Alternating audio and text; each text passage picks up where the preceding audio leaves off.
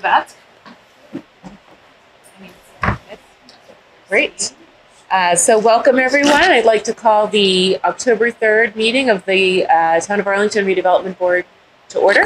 Uh, we'll start with a roll call um, for all of our board members and members of the Department of Planning and Community Development who are with us this evening, uh, starting with Kin Lau, Present. Gene Benson, Present. Steve Tinta- uh, excuse me, Melissa Tintocalis, Present. and Steve Revilak. Good evening, Madam Chair. Yeah, right. And I'm Rachel Zsembery. Uh, from the Department of Planning and Community Development. We have uh, Director Claire Ricker and uh, Assistant Director. Yes. Back, back, back in your role from Acting Director Kelly Linema. Thank you for all of your support in the interim. And welcome, Claire. We're thrilled to have you um, tonight for your first redevelopment board meeting. Thank you so much.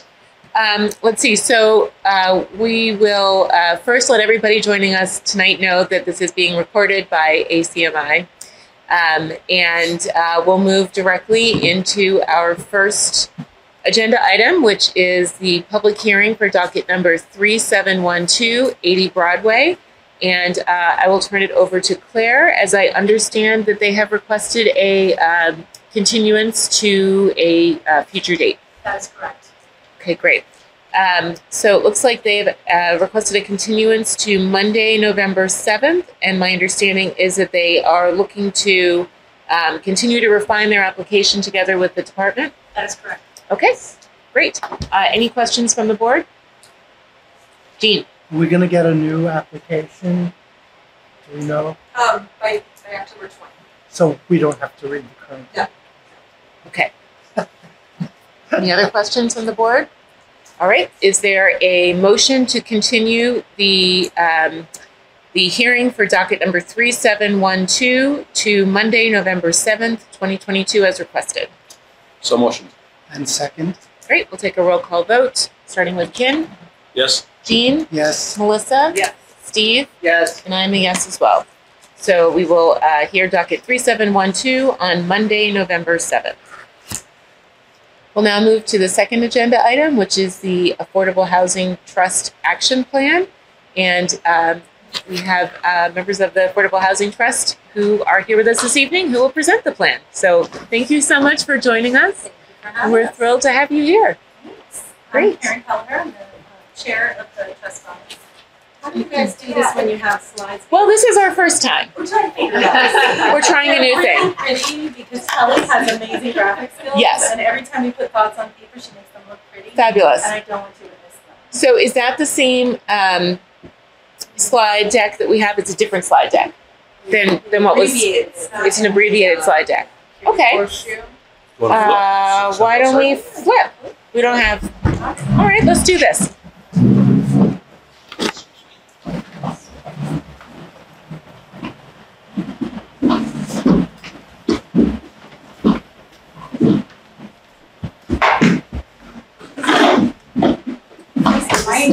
No, no, you're fine. You're fine. This is the best way for you to get into this conversation. And physically.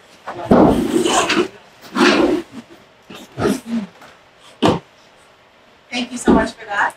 Um, I'm gonna go relatively quickly through these slides. I know I wanna thank Jim and Steve, who have been attending the meetings with us and really fully in this work with us. Rachel, thank you for facilitating our collaboration.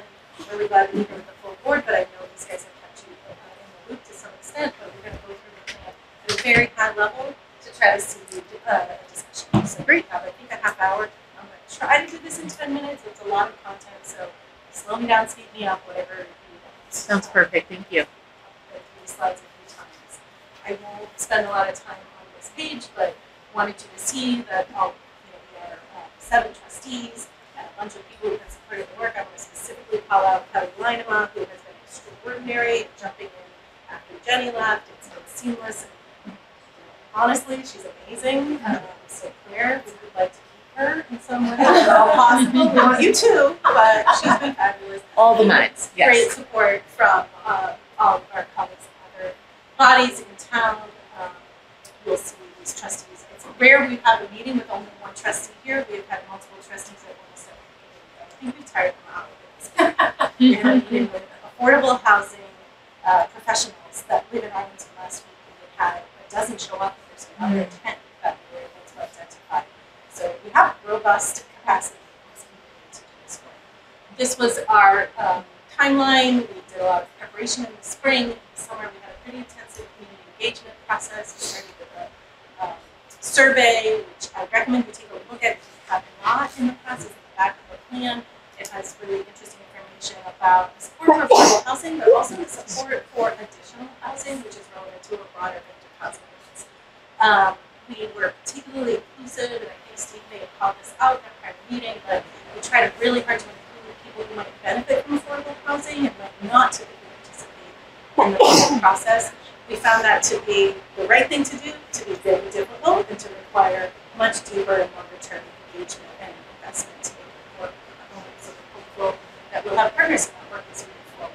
And then in the beginning of September, we published the draft plan that we're about to go through. We've been receiving commentary to go through the guiding feedback form, as well as emails to our email address. We'd like to Thank you. um, and our goal is to get this plan to the select board for approval, hopefully with a lot of broad support from the community. We're revising it starting today. Our comment period just closed. our email address is still open and we'll take comments um, when they come in. But we're revising and expect to present it to the select board before the end of the month for uh, vote in the first meeting. There are three particular strategies we're going to go through, but we also set some guiding principles for the action plan. And there's eight of them, and I don't want to spend too much time on them because most of them are non-controversial. Um, the one would probably pull out the most would be number two for the ARB, which is that we've heard a lot of desire to help those with the greatest needs, which has been a strong, you know, very vocal, uh, of perspective in the community, but also to advance solutions for a wide range of housing needs because there is pain all up and down the income scale. The market, as we know, is driving luxury housing, is not driving anything in the middle. There's a real strong desire, we heard almost across the board, for income diversity, full range of income diversity. Our mission is only certain income levels. We can talk about that if you'd like to, what that is more specifically, how we're targeting the neediest people. Um, but I think that uh, the feedback we've heard suggests that the community is looking for a wide range of housing solutions. So I'm going to move on unless anybody wants to talk about anything in particular. So this just summarizes the plan, in the um, little diagram. Thank you, Kelly. Really good. Um, there are three strategies, and each one has the 85-year goals. We really wanted to be very clear about what we're trying to accomplish, that we can be measured against. But everything that we're trying to do cannot be accomplished alone. Our, we have very little money at this point, and we have no power, right? So um, influence is our greatest tool right now. We do have some resources, there are some available to us that will help us during this initial plan. But as you'll see, the third strategy is to build a financial circle of trust so that we can, on an ongoing basis, invest in long-term strategy, which is critical.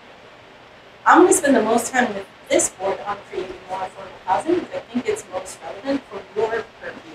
Um, the first strategy is about how we preserve and modernize our existing housing, which is important, but a little less relevant for, for Quickly though, um, we have about 1,200 units of affordable housing at various stages. Some of them need modernization and reinvestment, some are brand new, but we need legal, financial, and physical planning to be able to preserve them for our community. Um, there's a lot of information in the plan about is that enough, is it not enough, why is it not enough? I'm not going to go into that tonight, but if you're interested in that, we can talk about it. Um, so it's really a planning strategy. We need to know what that housing looks like, what its physical needs will be, what use restrictions are on it, and when will they expire so that we can remove them when they're expiring. We need to plan for their physical needs so they don't pop up and surprise us and lay claim to resources that we have other plans for. More importantly, if we can plan for those needs, we can be proactive and identify third-party resources because leveraging our limited time resources is critical to this very expensive strategy. So two different planning tasks. First, an inventory of the units that we have that's more comprehensive than what we already have. I kind of think that DPCD is partway done with that. Um, second is capital needs studies to understand the physical needs of the existing units And this is maybe the most relevant to your purview, which is identifying opportunities to modernize those properties or add more units, um, which is uh, sometimes a possibility. So, uh, and then the last piece of this during the five years would be create a proactive affordable housing preservation plan for the town. Again, we have no power specifically to do any of this. Um, need collaboration from all the other town bodies, which is why we have prioritized that collaboration planning process. Strategy two is the one I'll spend the most time on, um, and it starts with this fundamental. Can I ask a question about the previous one? The um, preservation plan, does that include the Arlington Housing Authority as well as privately owned units? Yeah, thanks for asking that question, Chief. Uh, the housing we have, twelve hundred units, the majority of it is owned by the housing authority, and it is our intent that they be included in that. If they're not, you know, if they don't ever wanna make a call on resources, if they can be self-sustaining, then that's less problematic. I think that housing authority properties, particularly state subsidized ones, are particularly challenging to maintain, particularly underfunded. But with creativity, I think that we can help them build their capacity to actually leverage state resources. In fact, our consultant has already met with Jack Nagel to talk about what might be possible. She's an Arlington resident who's already volunteered her time to work with him. Um, and one of the things we like to do is, is some capacity building grants, right, um, to them and to the housing authority. Thank you. The other two major owners, just to kind of fill this out, is of course the Housing Corporation of Arlington, about 150 units, and then the owner of um, Millbrook Village, which is a project-based section 8 uh, development that has about 140 units. That is a separate private owner with affiliated corporate joint. So the subsidy that we need, we put a number on it, which is a perilous thing to do. There's no number. First of all, no one can give you a number that says this is how much it costs to subsidize affordable housing. because There's too many variables. But we did it anyway because we felt people need to understand the magnitude of subsidy. The consultant, you know, used actual deeds to peg this to um, a number. This is for rental housing, but I'm sure it's not actually shocking to people who are well familiar with the cost of housing right now. So four to five hundred thousand dollars of subsidy is necessary make affordable housing. That's just the capital subsidy. It doesn't include ongoing operating subsidy, which is typically needed for lower income affordable housing. Um, which is the housing that we've heard a lot of local desire for in this community, but it requires additional assistance. Can Yeah, yeah. Um, you monetize that subsidy at four hundred to five hundred thousand, I think that's a good amount. That's, It's a, it's a lot. I agree with you. I think it's low. I, I disagree with you, but, uh, did you guys think of that in terms of units?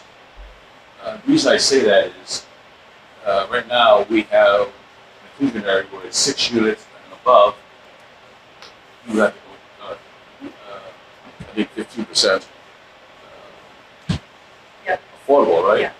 So that, that means the rest of that has to be a support uh, when you develop it, uh, the affordable units. So I- I'm just saying, was there a study of something?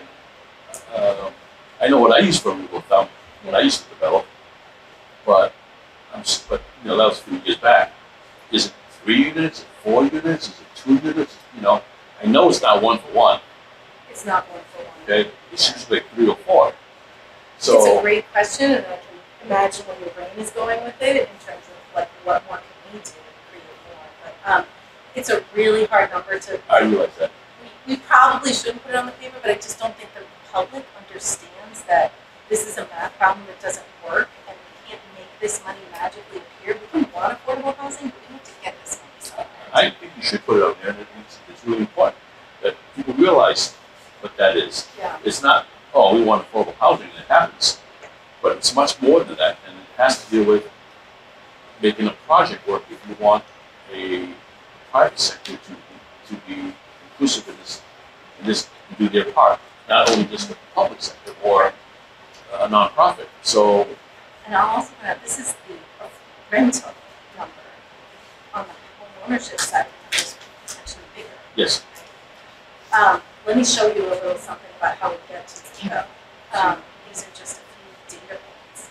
Um, in the first eight months of this year, the state Department of Housing and Community Development awarded four hundred thirty-five million dollars of subsidy to other communities.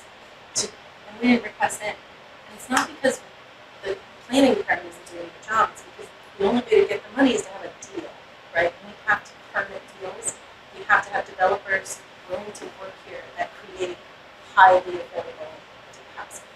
And they're not generally doing that here. Our only force is the Housing Corporation of Arlington, and they've created hundred and fifty units in thirty-five years. And so if we want to create at a higher level, we have to bring additional capacity, to build their capacity, we have to bring the housing authority to the table. It's totally possible, and this is how we know it. These other communities are getting large sums of money from the state. Those are state and federal resources. And here's one where HCA did exactly that. On the right, that's the recent project, Downing Square Broadway Beachwood. These numbers are approximate because it's to pin them down. They've been changing during the last year. But the total budget for that project to build it is about twenty-six million dollars. And of that, the town provided just about a million. The rest, thirteen percent of that, serviced by a mortgage loan, right? That comes from the, the rents um, that are coming into that project. And the rest is state and federal subsidies. So that's what's possible if you build, if you design projects that meet the requirements of the subsidy programs. Can I ask a question about, um, again, who the developers are who are uh, seeking all that? Are those typically coming through CDCs? Are they coming through private developers? What?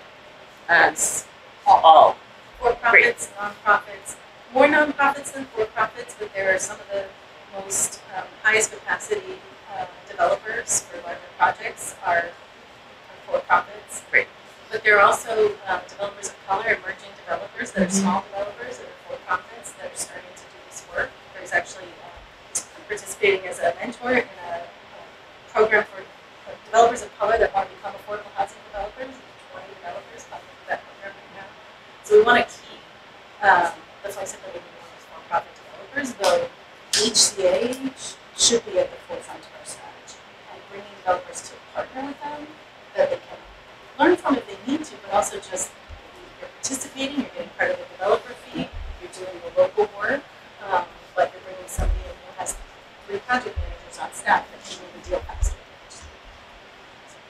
Can I also add, I'm just gonna jump in here, because I applied for actually some of this funds. Um, they're looking for deals of about thirty units, they really don't wanna consider anything much less than that unless you have, um, services or something special attached, like, um, I think I told you about the project I did in Lowell, um, that had some subsidy related to, um, substance abuse recovery or something like that. They, they're really looking for a number of units, and the magic number is right around thirty right now Or more. Now, or more, larger Here's how does get not much smaller.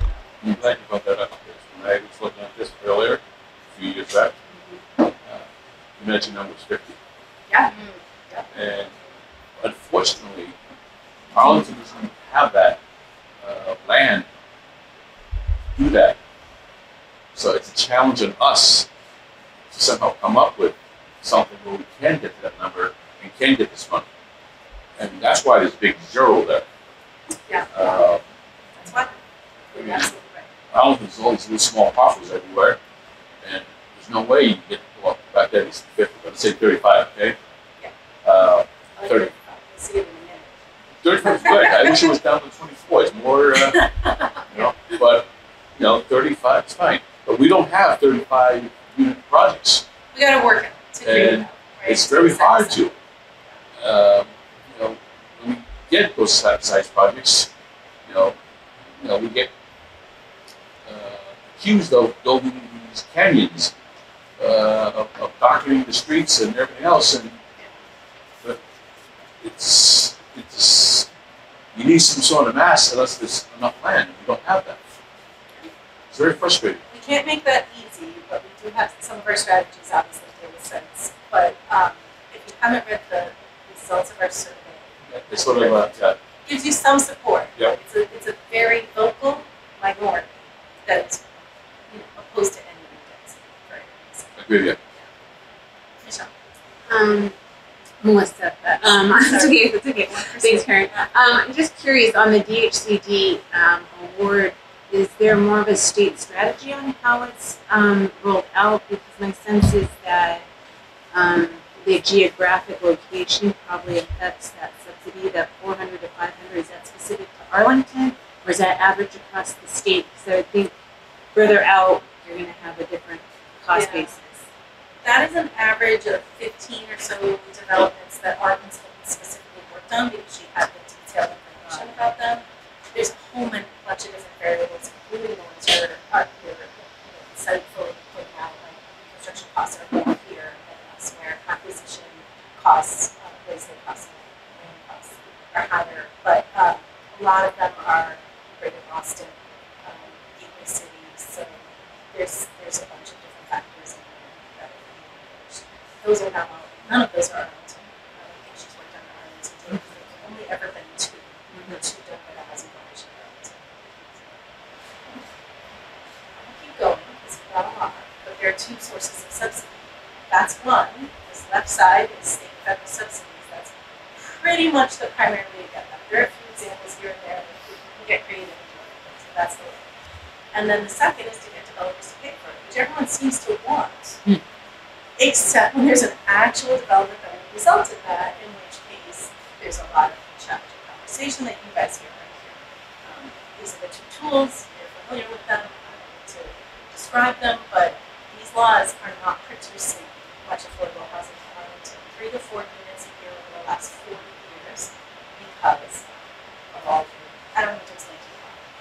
know board knows one. We do have a couple forty Bs coming through that may change the outcomes we're getting from these, these laws. So thirty-five units in one deeply affordable development, which is pretty much what we got in Downing Square. Mm-hmm. The thirteen sixty-five, is that sixteen thirty?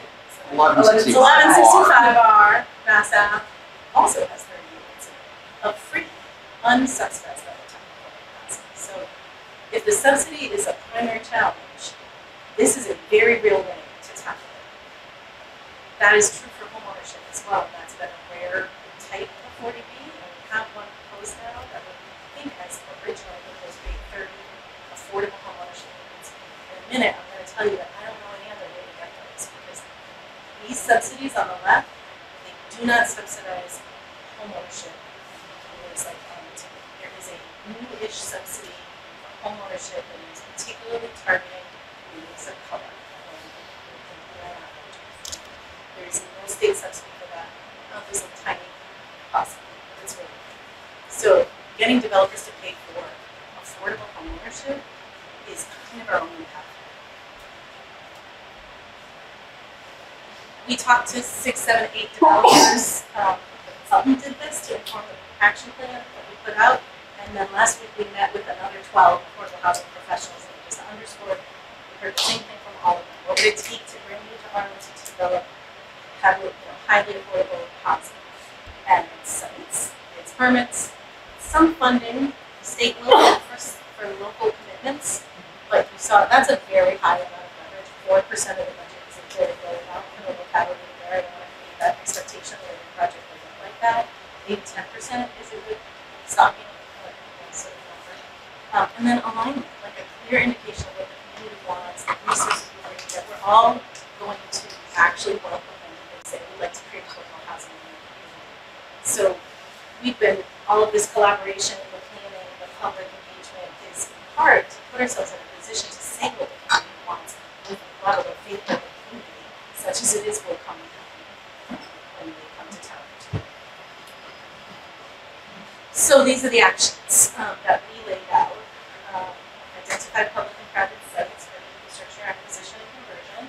Our consultant has, um, shouldn't say it in public, but, you know, look at what are the potential sites, what are the strategies, how might we do this? We have not laid any sites out, we don't have a specific strategy, we hired somebody to go and look for good sites, good sites, but there are a series of categories of sites that are promising, they won't be any surprise to you guys. It's building up on Mass Ave, it's taking existing parking lots and about you go up replace the parking, but also housing on those sites. It's looking at industrial for mixed, mixed use development, um, there's a few other strategies.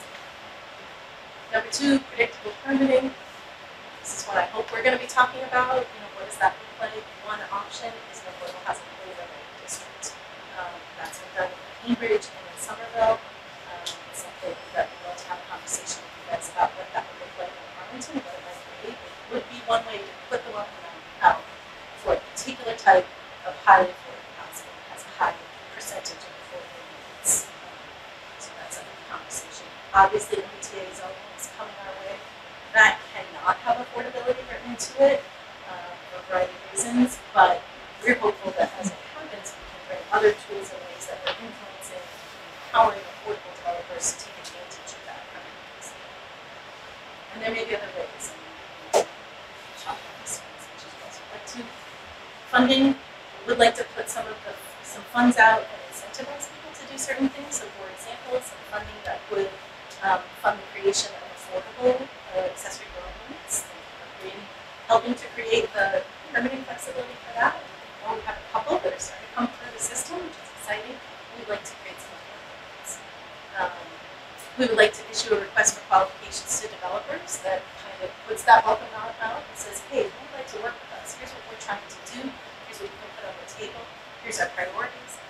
What do you think see the options are? And then last is just the already about makes the ownership as often podcast and a way to get affordable ownership, which is there's a canyon like in our market. Forget the physical. A canyon.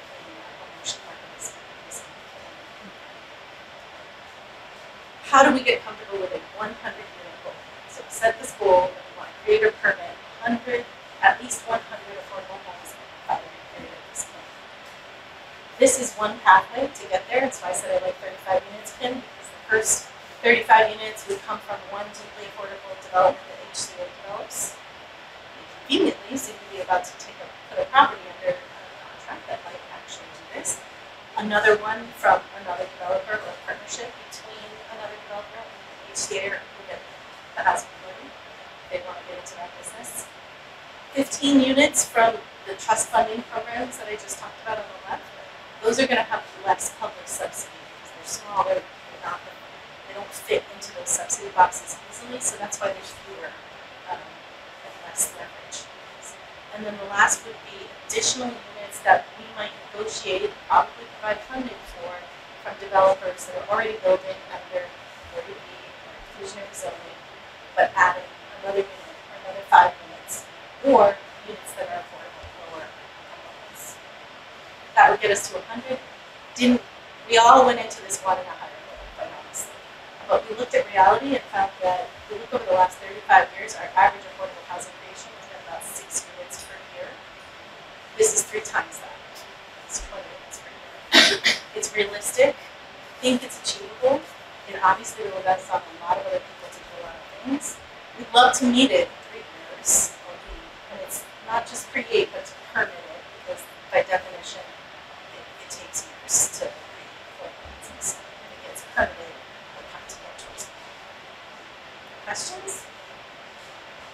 We've been asking for feedback about whether this is too aggressive or not aggressive enough. Um, we got a lot of pushback, pushback, but uh, discussion from the affordable housing professionals about the timing challenges and the need to retain flexibility and not constrain ourselves too much in the action plan. This is not a legally binding document. It's a way we're talking about this with community and buy-in that we then can, you know, move more with more agility. We have to go outside of the obviously, which is where you're going to say. Can I just ask a quick question about the RFQ um, for developers? Is that anticipated to be through the HCA, through the trust, in partnership with the ACA, kind of pushing them to form new relationships? What, what's the thought on the ownership of the RFQ and how you see I that? honestly haven't thought about that question. I love the idea of having it be a multi-party Mm-hmm. um, RFQ that would include the of Arlington, the trust, the AHA, DPC, that kind of stuff. This- I don't know that you want to be to that. Maybe not, Might but be you know, it'd be right great to. Yeah, yeah, yeah, yeah. But, It's a great question. Great. Strategy three. Oh, I'll sorry, I think quick. Melissa had a, had a Oh, question sorry, on that. up here. Um, just curious what the thinking is, um, with regard to just the current, I guess, market with regard to the goals. Have you guys talked about that? Um, with interest rates and the slowdown in production, as I understand. It definitely is going to make it harder. It'll take that subsidy number up. It's been going up, right? Because of supply chain issues and labor costs. Uh, obviously, cost of land has not gone down. We would like to see that, but it's not happening. So it could potentially stretch this, but the other thing that's happening is there are a lot of resources at the state level right now, federal and state. Recovery dollars are coming in, so in the same way that we have a little bit of a window of resources that can help us with this plan, that'll like give us a year or two of investment, that's happening the state federal level too. So there's a little offset, but all those things will matter. I don't think they'll materially affect our ability to hit these numbers. So finally, you know, for us to realize that mission, we need a sustainable source of funding. What we currently, the total pool available for affordable housing in town, it's not adequate to our long-term goals. Um, so what will we do about that?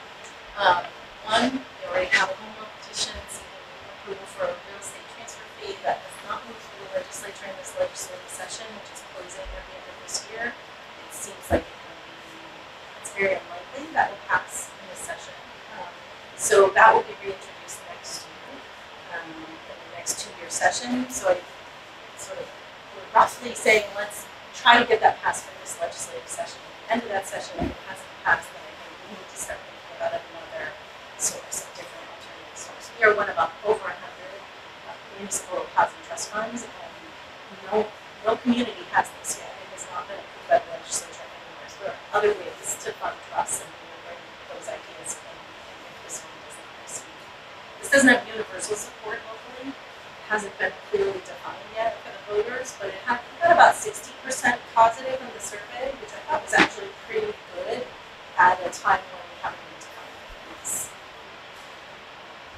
had local conversations about uh, short-term rental fees and cannabis, sales tax being potential revenue sources for affordable housing. We'd like to secure those revenue streams on the ground. They're not expected to be substantial at this point. I don't know what can, I know less about the cannabis revenue. Um, we'd like to go to the of that revenue. Um, we want to explore whether there are ways to increase, probably change the language of this plan, inclusionary zoning payments, not to the exclusion of building units. We would rather the build the units, um, but where they don't, they have the option to make payments, and some of that has gone into the trust with a couple hundred thousand dollars of seed funding from prior developments. But there may be, we're gonna fully explore whether there's any way to impose any kind of fees or linkage fees on developers who are building, you know, large single families or two families in town. There are limit, legal limitations on that, um, so I'm not super optimistic, but we'd like to see where we might explore and understand. That would certainly popular. Um, and then, you know, the various town bodies that make investments in affordable housing over this five-year period, we'd like to get to clarity about what the process is and how we all work together. And we want to explore a private giving strategy. This is, want to be very clear, we don't want to interfere in any way with HCA's private giving, um, or confuse anyone. This might have totally different focus. Certainly could include the joint adjoining or complement to the trust. Um, but we've gotten some creative ideas from the public as well. So that is the plan. I don't think for any further questions. I appreciate that this has been a conversation. Um, I'd like to suggest we hop around back so we can look at ACMI and following this meeting, we will have a discussion about how we can potentially up this room to use this great in the future. Yeah.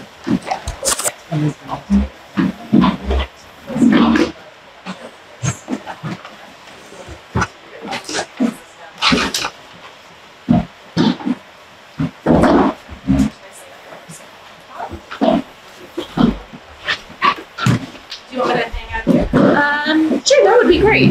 Yeah, and that way, if you have any um, questions to direct towards you, that would be the easiest. So, um, I think what I'd like to do is just run through the members of the board to see if there are any um, comments or questions for uh, for Karen, starting with Kin. Uh, This is great. I love it. Uh, and I think you guys did a great job here. Um, I do have a couple small questions. You guys look at, because I, one of the concerns I have is when you do, um,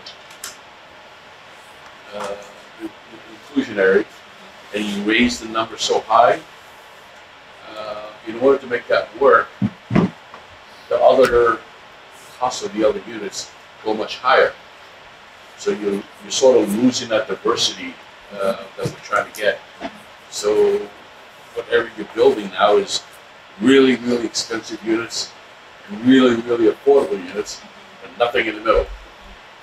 And I'm not saying that's going to happen everywhere, but I'm just saying it could get cut out that way and you, and you go down unintentionally. So I think that's something we should sort of mention a little bit, mind a little bit though. That's, it's a balance. I'm not sure what, what it is, but I'm just saying sort of sort of follow that a little bit. I think the trust would agree with you that there's a need to look at our inclusionary zoning, um, bylaw and figure out how to get more production out of it and what kind of production do we want. I think that's an insightful comment about the cost of, the market units will go up, um, to cover the cost of the affordables.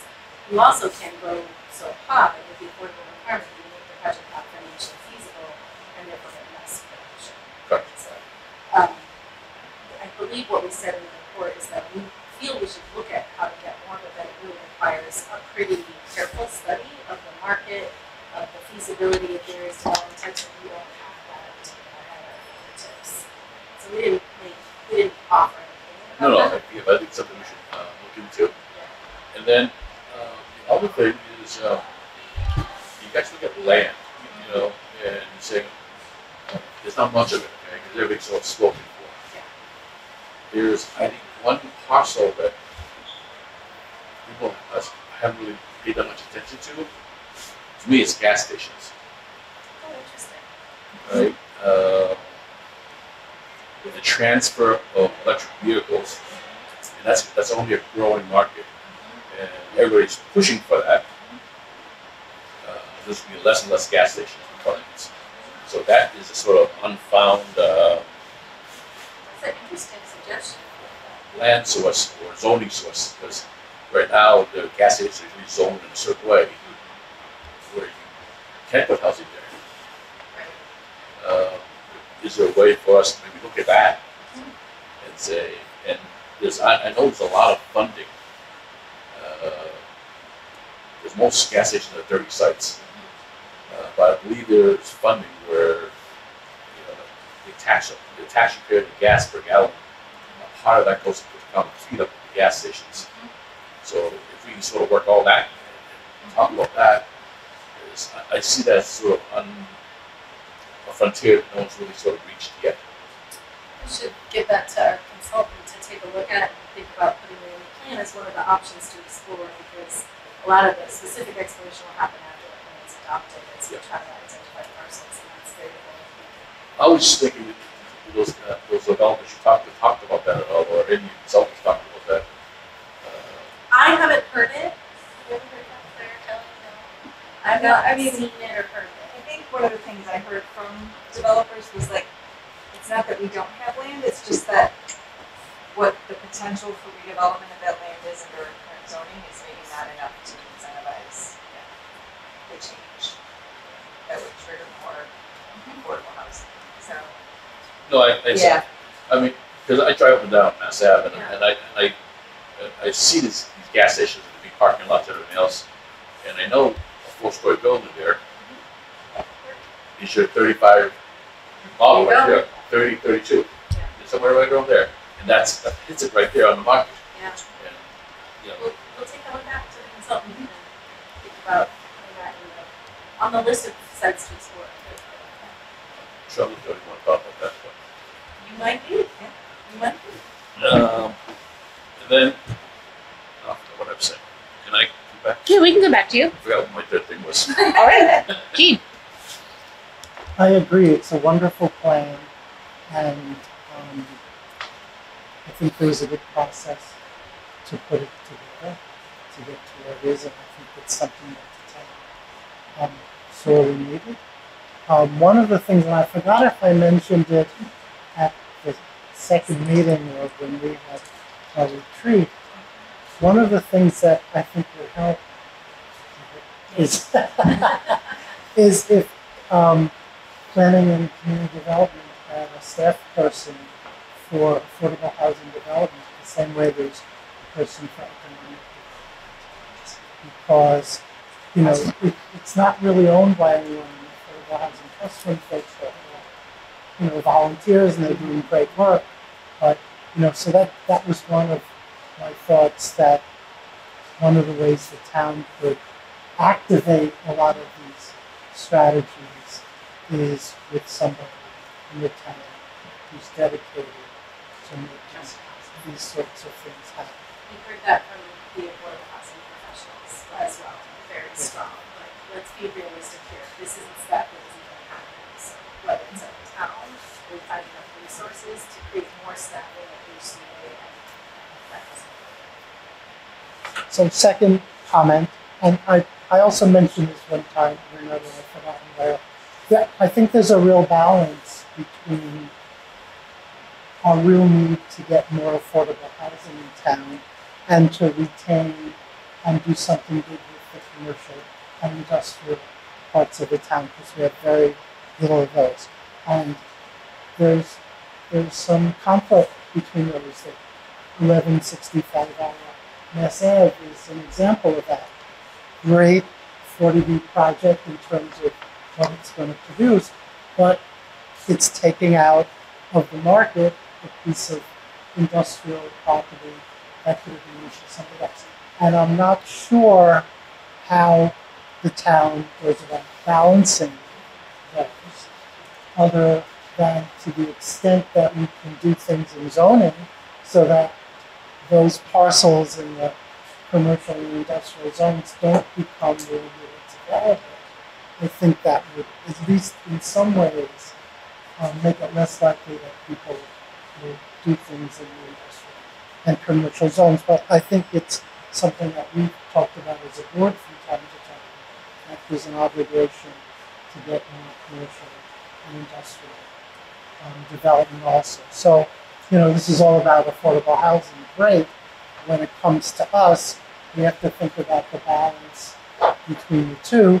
So whether it's um, affordable housing overlay or other things, I think we do have to be mindful of Mindful. of those. Um,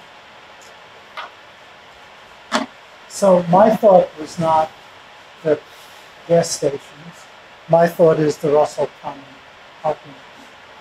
And we got that inserted into the, um, the housing plan, production plan, so that we could do something with it. And I think, you know, we have to figure out how we go about doing something with it. It's, it's a big space, probably way to do it with retain the parking, some commercial and lots of residential, it's gonna need to be zoned.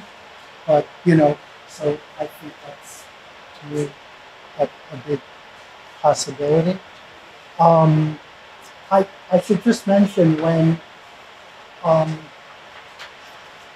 there was the survey for the housing production plan, you got to say, where do we think we could put some affordable housing in town? Well, some of it was really like crazy parks.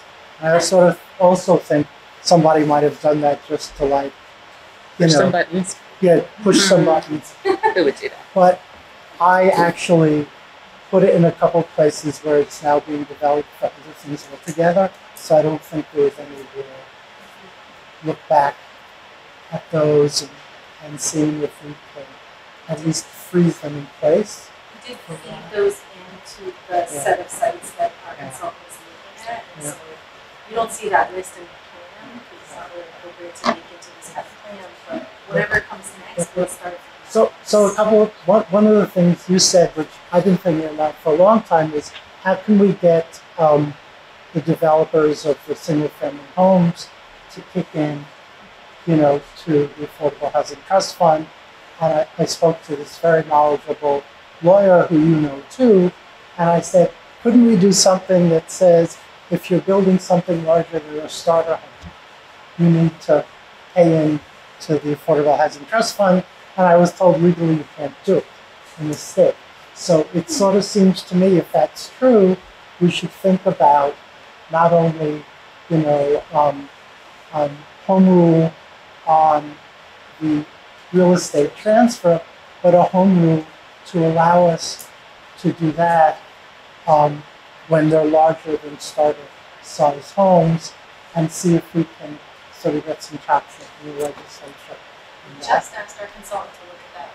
There was another community that just got a linkage, uh, home rule petition approved by the legislature, and I sent it to the consultant and said want to know how we do this. Yeah, so I think we need to look at that as a way to get some funding. Yeah, not, and In not there. just to add on to that, Gene, that was also something that we started to ideate a little bit around when we talked about potential single family into multifamily conversions and whether or not there was a linkage Yeah. there, potential there as well. Yeah. yeah. We'll figure out how to go down that rabbit hole as deep as we can possibly go. Fabulous. These opportunities. If it was easy, it would have been done. Uh, fair, fair. Right, right, right. All right, and, and the hundred units, I have no idea if that's a stretch goal or a realistic goal. Yeah, I'd say the town might. it's where we ended up. Yeah. Okay. Great, thank you, Gene. Melissa, do you have any questions or comments? Um, yeah, I was getting clarification again, being reminded about, um, the transfer, the real estate transfer versus linkage, just for clarification. Um, Yeah. state that to make sure I'm on point? The real estate transfer fee would apply to transfers of real estate in the community. There would be a minimum purchase price and it wouldn't apply below that. Um, we didn't set what that would be specifically, we said it would not be, um, above the statewide median home purchase price. And the percentage of your purchase price that would go into the trust fund as a result of this fee also wasn't set, but it would be between half a percent and two percent. And so by way of comparison, the city of Boston has a home petition that doesn't kick in until you get to two million dollars. They a very different market than we? Um, and I think it's two percent. Um, and it would double the amount of affordable housing um, funds they have to deploy, which is a lot. They have extraordinary resources. So there are 11, 10 or 11 communities that have home rule petitions, and there is statewide legislation seeking to essentially enable communities to do this without a home rule petition. They're opposed by the real estate community. And when this was proposed in town meeting here, it was opposed by our local real estate community. So one of, least my personal tasks is to, after we get this plan passed, to go and start talking with the real estate professionals in our community about the fact that what we have isn't enough, it's not working to get us enough, and see if we can get some help. So that's what it would do. It, it, it's not a tax that has to be paid on an annual basis, so it only burdens a homeowner when they sell their property, which is part of what I think is kind of appealing about it, because it's not imposing a burden on an elderly person who's having to pay their real estate taxes unless and until they sell their home. And almost every homeowner in Arlington, even the very short-term ones, have reaped tremendous windfalls of equity, so it feels like, um, to some, this is a windfall you're receiving, although we also think of it as ours, and we're very, it's very important for, um, you know, sending kids to college and retirement, but leaving a little bit of that behind. And who's championing that now at the state level? Our delegation, delegation. Do we have like um, a representative like Cindy Friedman or anything? Yeah, Cindy Friedman, um, Sean Garballey, and Dave Rogers, they've all, um, partnered to introduce it in the Senate and the House. And there is a statewide coalition advocating for this. Um, I think I was just gonna look it up, I Kelly can't remember, it starts with an L. Okay. LOHA, local option housing for housing affordability. Okay. Um, Lynn is at it as well. yeah, I participated Great. in it as well. And, um, it's kind of like the Somerville. Just happen to do it, but it's, uh, it's pushing for the statewide. I mean, the- the- Thanks, Karen.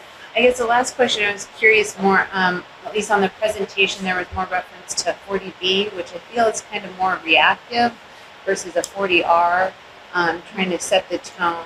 And I didn't know, um, in your conversations with the consultants, um, if that's been more looked at as a tool. We didn't do much of a dive on forty R, the planning department has in the past, but I don't know whether either of you is in a position to talk about it. Um, I wasn't a part of it. I I mean, I can speak to my experience with forty R. We had, uh, you know, working in, in gateway cities, of course, we do a lot of work to set the table before a developer even comes by. We had, um, so we did a smart growth district, which is, you know, kind of shorthand for forty R. We basically, you know, kind of once, you know, once the city figures out what it does for us, is it gives you a cash bonus for every unit that you build. Um, and when I left the city thousand dollars per unit. So we did a hundred and eighteen unit project, and the city was reimbursed almost four hundred thousand dollars for simply permitting it, for permitting the, the project. It also goes hand in hand with a program called 40S, um, which does direct subsidy related to school, schools, um, construction of, uh, units with, uh, more than one bedroom, non-senior, um, you know, housing developments, multifamily, things like that. We'll give a cash bonus back to schools, um, related to the impact of any additional kids in the school system. There's a lot of carrots out there for residential development, um, and this is a huge one. Um, obviously, it, it can help self-development, whatever, and it certainly offsets any impact related to schools. Um, but it's very, very effective, you know, and it certainly gets, um, you know, it definitely gets, I think, the policymakers and the decision makers very, far more interested, um, in a larger development than maybe they had would have originally been. It is, it- sorry, it is something we could also consider that would meet the requirements of MBTA communities if it was large enough and had a capacity for enough housing units. So it's like another alternative to, to meeting MBTA communities requirements. Yeah, it seems to me that, that, um, maybe touching base with your consultant on that piece, if you've selected sites, because if what you're saying with regard to, you know, the constituency at large is in favor of what you're doing, and only there's a small minority of people, then you're gonna have more success kind of being more proactive and setting the table in these places, I would think. It's helpful, yeah. The only other, so yes, thank you for that suggestion. The only other suggestion is that forty B can be used proactively as a permitting tool to attract developers to say, you know, we've all collaborated on this plan, the ZBA, you know, we're looking to permit a project that looks like this using it. So it's not as comprehensive, as it's not as, so planful, if you will, but Mhm. it's a tool we can use in this, and so we have better tools. Thank you. Thank you, Melissa. Steve? Like, just to follow up on that, there has been, I know, I do know of one case where we did proactively use forty B. Um, the Housing Corporation of Arlington needed, uh, asked, used forty to B, forty B to ask for a waiver of parking requirements on one of the projects. And, you know, that's one of the things that helped move that forward. Um, as far as the, plan goes, I I felt it was comprehensive and realistic and it seemed um, there was a very nuts and bolts nature to it, as in like this is how you would actually go about doing such a thing. Uh, it was concrete. I, I, I really I found I, I like that. Um, I appreciated the concrete goal of 100 units in five years. I think this is achievable. The first year that Cambridge's affordable housing overlay was in, in effect, they permitted 350 um, unit, affordable units through that program. So doing, granted Arlington is a different community, but I think we could do 100 in five years. Um, regarding the, you know, the map and the tension between affordable housing and commercial development, one of the reasons we have such a small amount of land zoned commercially is because back in the 70s, this board proposed a, a new map in which town meeting adopted that effectively eliminated a lot of what were commercial districts at the time. Um, there's, I don't, I, think what we do with the commercial districts is going to be an ongoing conversation, but I, I don't think it's, I don't think we should really, or we need to be constrained by what's on the map now. Um, you know, expanding that would be, it could be beneficial, but it's a, it's a, it's a whole other, it's a whole orthogonal combination. And um, yeah, thank you for the presentation. Thank you for all the thoughtful comments. Thank you. I just have um, one question for you, and it's something that um, I'm sure there was a lot of discussion around. The, the last part of the plan was about establishing sustainable funding sources, and I just wanted to get your take. You know, you went through them and talked about how challenging some of those would be, um, and also that there are other um, housing trusts in similar communities which which are well funded um, that that I may have misheard you Which Uh, are funded. which are I funded don't know what well funded well, means. okay. Some are So- modestly funded for sure. but some are more I yeah I just you know without the home rule petition that we've identified um, I don't know how long term sustainable some of those potential options are and I'm just wondering if you could shed some more light on some of that conversation because I think it's an important one Yeah. for this group to do the excellent work that's been set out and uh, you know i think kin your suggestion about having you know a staff member potentially also dedicated to this is that was gene i'm sorry i attributed it to my to the wrong person That's all right. I'm sure we were all thinking. okay um, it's it's just it to me that's a, a huge item to solve and i'm just curious about what some of the discussion around that was It's interesting, there wasn't a ton of discussion about the funding part, probably because we went through all the other stuff first. Right. time, But I would say there's a few things that have been suggested or brought up. Mhm. Um, one town meeting member has previously suggested that we actually seek an increase in the CPA percentage that we are imposing to increase the amount of CPA dollars coming in, but to earmark a much larger percentage for affordable housing. Um, there are communities that issue bonds to fund affordable housing. Um, that's a pathway. There are other strategies out there that rely on things like cell tower leasing. I mean, it's sort of very local Right. in some ways, like what are the resources in our community? Um, so the obvious ones we put on the page. Right. Um, i think we have to get creative. Right. Whether that's the conversation with the select board or, you know, whomever that winds up being, I think I think it's really important to the redevelopment board, right? To lay it That, that this group is really that you know, it's really important to find you know, find funding sources for for this group because it's this important work that needs to, to be done. We figured we would make a stop with the finance committee very soon. Yep. We Talked about and decided we didn't need to bring them into our housing stakeholder meetings yet. Sure. Probably would come, but, um, but that we do need to go and stop with them. Build the support on that committee over time. So we can bring financial prowess to this challenge. We may be asking this board for a letter of support with CPA funding for the next fiscal year. So Okay. Yes, we will also continue to try to rely on existing resources and obviously, um, we're hoping to use some of our funding that is available to the town. So it's Any other questions? Candy, do you want to give her the- No, it wasn't really an, uh, an idea or a question, it was just, uh, saying, I'm, I want to congratulate you guys on, on this thing, not only wanting more affordable housing, but actually putting down concrete Metrics? steps and how to do it on, on different steps, where everybody else screams, we, we've got to focus on affordable housing, but don't give, don't, give any answers. I think you guys did a great job doing that. And I'm not saying you have all the answers, but it's a great step. And, and which ways to look at everything else, and that's lot better than some other people have done, saying, oh, we need affordable housing, we're good. It's, They've come, all those people have come into this conversation, I feel, and have fed us their ideas and, and we're incorporating them into the That's good. But now we have that, and, Yeah. and I was amazed at how many people want that. The, the, you know, when you did a survey, I looked at the survey, wow, that's, uh, We were relieved when we saw the survey results, yeah. so, you know, congratulations. Thank you so much. I really appreciate you taking the time to be with us today too. Thanks for taking the time to meet with us. Great, thank you.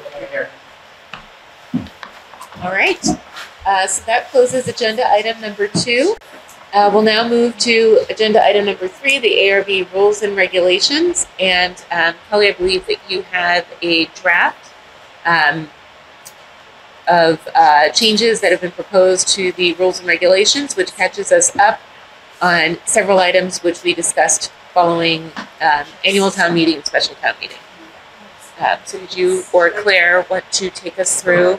Yeah, I just stand up here for Okay, great. That would be great. I'm not gonna project anything, but I think. Right, we have them all on our screen. Yeah. So the, um, the draft that you have before you reflects some of the changes that were brought up during the ARB's retreat. Um, it- the changes really don't start until, page seven of the draft. Um, so just to highlight, um, the addition of, uh, potentially requiring an applicant to provide a SketchUp compatible model as an alternative to a physical model to add to future SketchUp, uh, like a SketchUp model of the town. Um, we also talked about requiring solar energy systems, or solar energy system assessment, which may be something that needs to wait the Attorney General's delay on approving that amendment to the bylaw. Um, so it's something that could either be discussed tonight or we could bring back after December after the Attorney General makes a decision. And then going on to page twelve, um, just adding in family child care as a use that is eligible for review under religious and educational uses based on the changes that were made, um, in, during special town um, those are all on page 22, so there's just a few changes there. Great. Thank you, Kelly. Um, we'll start with Kin. I think you had some suggested language modification for um, the SketchUp model requirement. Uh, yeah, on um,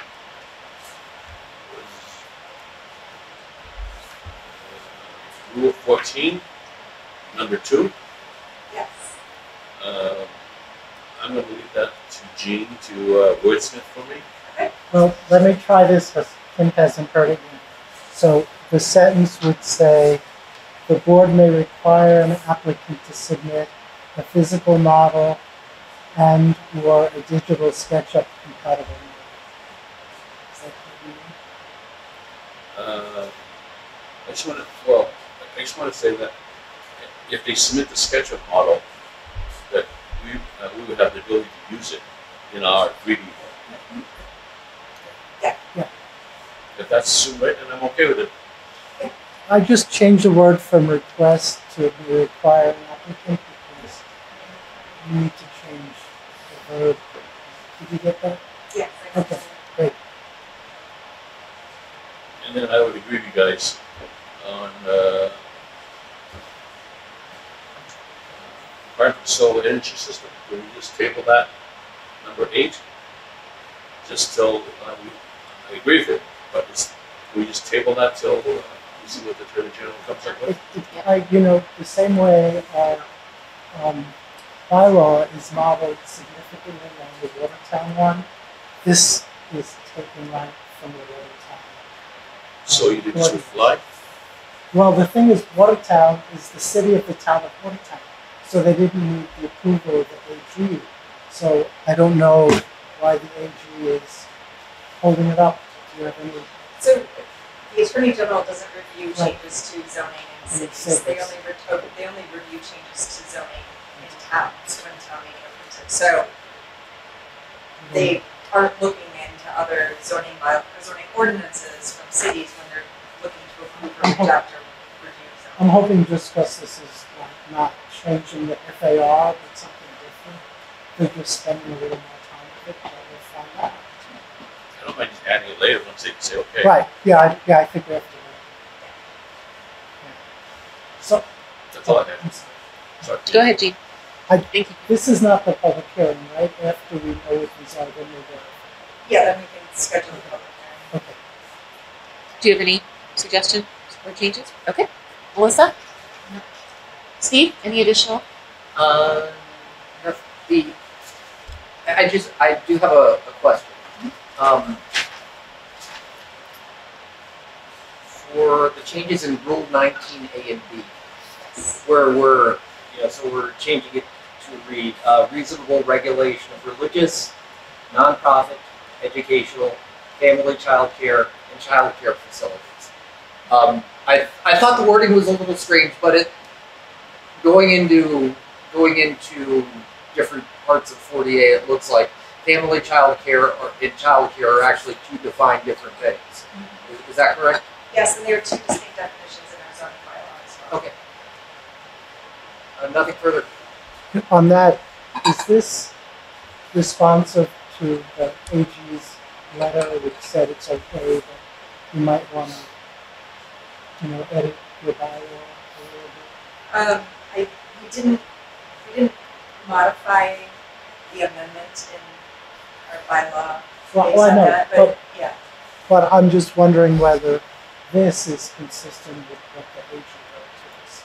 The So the terminology. Attorney General's letter was really just about the, dis- the difference between a large family Right, childcare and a, So and a this small is- fam- And so we you- don't really draw a distinction Okay. in it, and so it was really just trying to clarify that. I don't think it's necessary to clarify it for the purposes of the types of family childcare that I we see. Okay.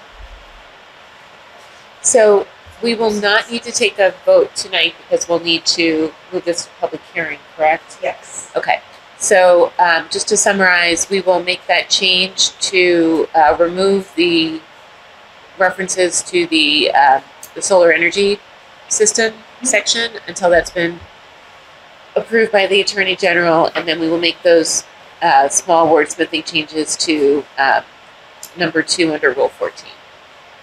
Yes. And The others were good. Okay?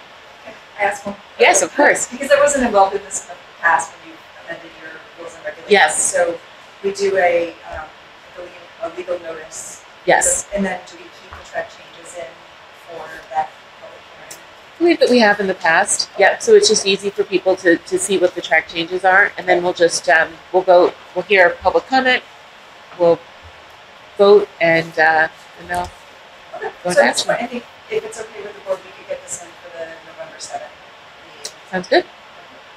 Perfect. Thank you. All right. Um, let's see. So let's now move to agenda item number four, which is the 2023 schedule leading to 2023 annual town meeting. And um, Claire or Kelly, I'm not sure which one. It, sorry, jump on back up there, please. Please and thank you. Um, so this follows, um, it, we, I, I really appreciate that you put this together. I believe last year was the first year that we used this. Um, and um, I think it was really helpful for the many people who um, came to us and actually worked with us prior to submitting their warrant articles for, for town meeting. There was there were several who took advantage of meeting with us for feedback. Um, so I appreciate that we have this again. Um, if there's anything in here that differs perhaps from the um, way that we approach this, it would be great, Kelly, if, if you point out anything that you um, want to call our attention to. Um, I will, if I can get attached to the internet here. Oh, okay. Um, Give me just a second. Sure, absolutely. Yeah, so I mean, just off the top of my head, what, the only thing I really added was, I think in the last version we had sent out last year, we didn't have those periods in October and November yet. Great. Thank you. Uh, always prepared.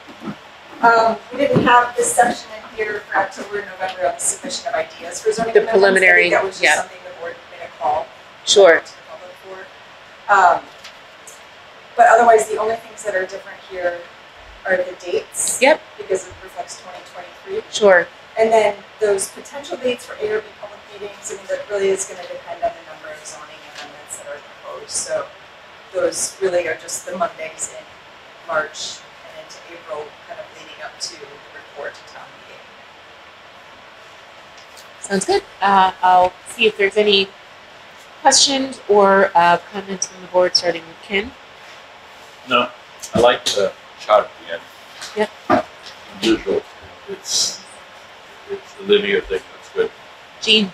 I agree. I think it's really good. I think if we voted, we should get it up on the on website. Great. Melissa. Same. Steve. I, I think it looks good. Okay.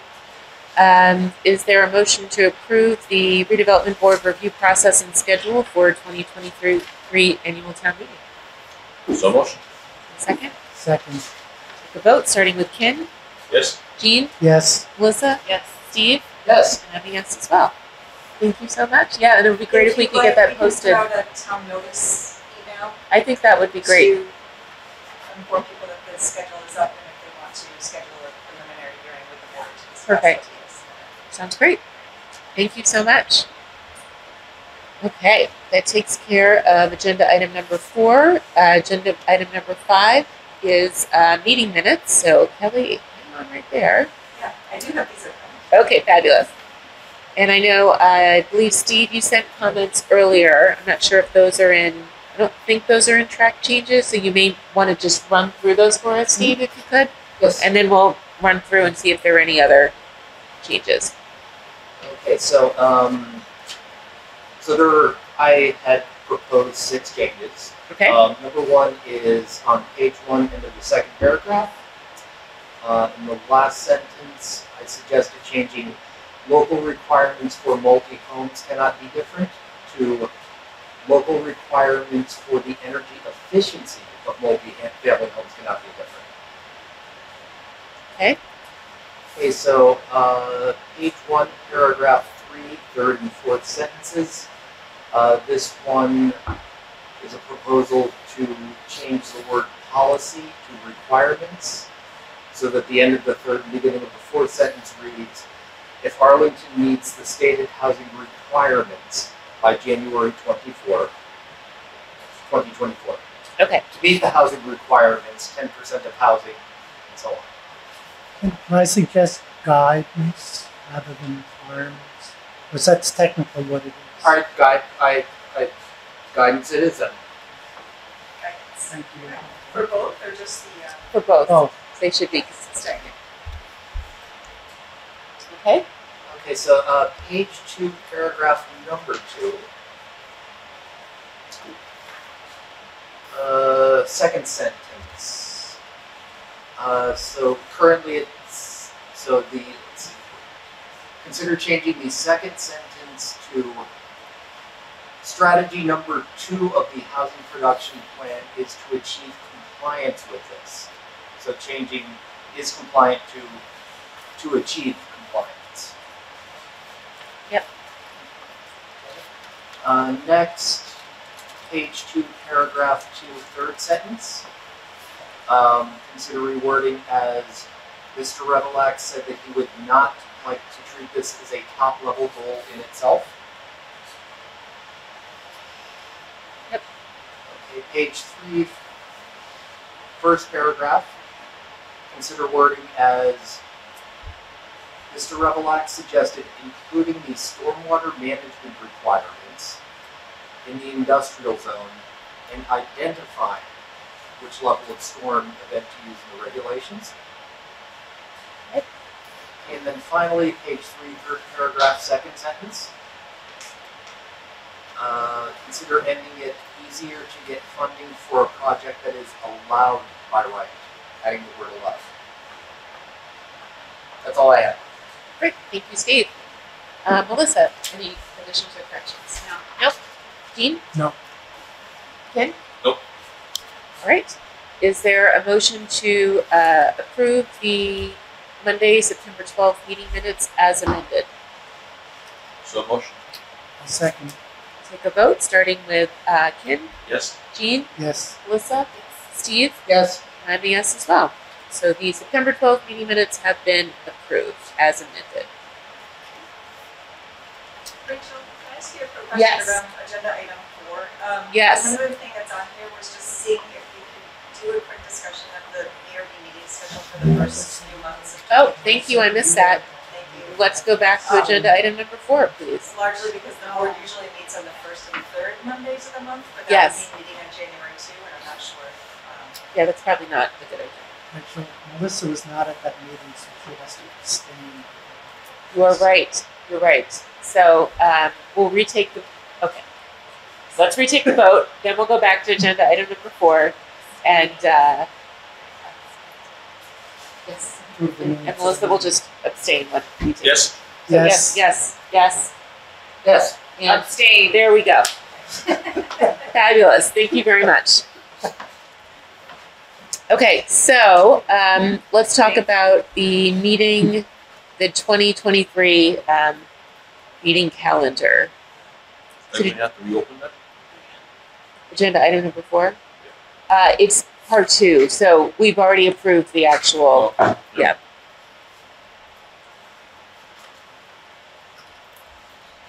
But we will. This is a meeting. Yes. You don't have all of the dates in here. Were there specific dates that you wanted to review? Um, I think, uh, you know what, maybe we should just, uh, do this at the seventeenth, how about that? Let's do that because I think we typically do that. We we try and lay out, yeah, everything from January through June as a separate calendar, and I think that would probably be easier than trying to do it in this format. If that's okay. that. No, no worries. Okay. Anything else on agenda items one through four, five? Just just on. Yep. I, on the schedule, what we need to talk about when we come back is our own schedule Yes, for, hearings. well, Beyond no, this. also for the articles that we want to put in There. Yep. to change the zoning. Yes. Okay. I believe you talked about wanting to discuss zoning amendments on the seventeenth. Right, but a schedule for Oh. when we're going to, the same way there's a schedule for the public pieces. Yes. I think we should tie that into the seventeenth. Schedule for the, right. for the ARB themselves. Right. Yeah. Yes. Yeah, we can do that on the seventeenth. Yes.